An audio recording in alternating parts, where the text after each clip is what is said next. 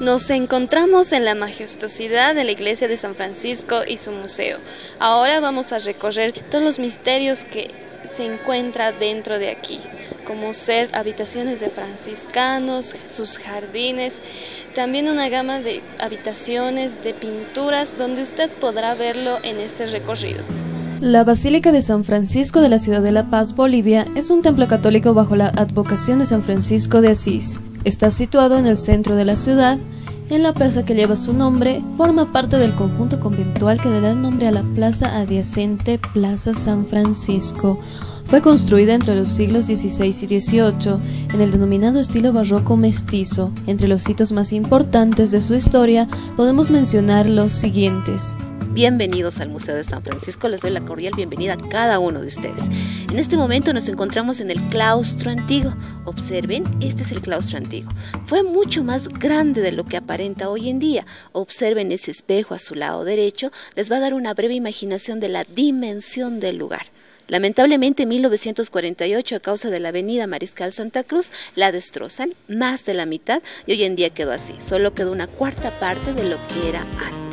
En 1548 se funda el convento de San Francisco por Fray Francisco de Morales, de quien se dice fue uno de los doce primeros religiosos en llegar a la región y Fray Alcocer bajo el nombre Convento de Nuestra Señora de los Ángeles. Muy bien, en este momento nos encontramos en la celda de Juan de Dios Delgado. Para que me comprendan mejor es la habitación de ese franciscano. Él vivía acá, él recibe aquí un personaje muy importante que ustedes han escuchado hablar de él, Pedro Domingo Murillo, el que encabezó la Revolución de la Paz de 1809. Estuvo acá, por ese motivo hay cinco sillas. Aquí estuvo sentado Pedro Domingo Murillo, Michel, Figueroa, el cura Medina y Juan de Dios Delgado. Nos encontramos ahora en el claustro mayor, el claustro principal. Antiguamente fue el huerto de los franciscanos, hoy en día es un jardín, del cual ustedes van a poder apreciar árboles frutales como también medicinales. Entre las medicinales más importantes tenemos el arrayán, que es muy bueno para el dolor de muelas y las jaquecas. Y está también la quisguara para los riñones y la próstata. Entre los árboles frutales hay ciruelos, hay peramotas, tumbos, manzanas, duraznos y además se puede apreciar una linda fuente acá, ¿no? Que mayormente en todo claustro haber una fuente, la fuente representa la vida. Nos encontramos en la bodega de vino. Las uvas las traían del Uribay. Uribay queda al sur de La Paz. Esas uvas las colocaban dentro de los toneles, ¿no? Y empezar a pisar las uvas, el vino patero.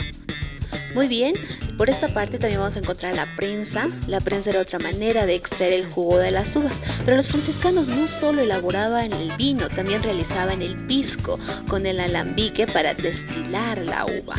Pisco es como cigán aguardiente, en peor de los cajos alcohol. También están los botellones que era para sentar el vino y finalmente los barriles para almacenar el vino.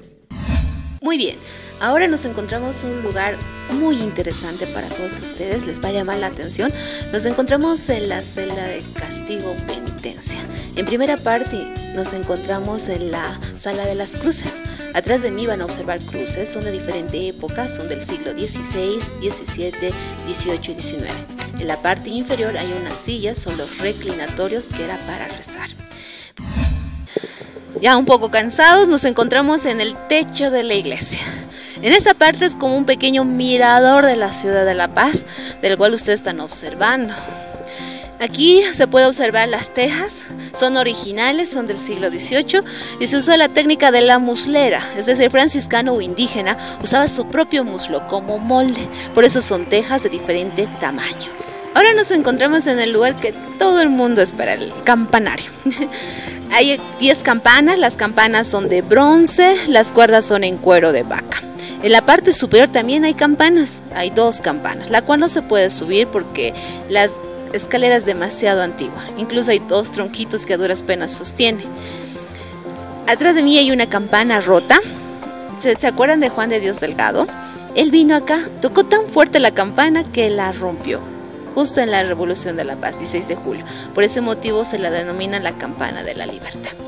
Las campanas aún las toca en ocasiones especiales y por ejemplo los sábados seis y media de la tarde. Muy bien, a todos ustedes de antemano les doy la cordial bienvenida al Museo de San Francisco. Les espero a todos y a cada uno de ustedes a visitar. El museo está abierto de lunes a sábado de 9 a 6 de la tarde, horario continuo. Y además de todo lo que ustedes han visto, van a poder apreciar la cripta de la iglesia que está por debajo del altar.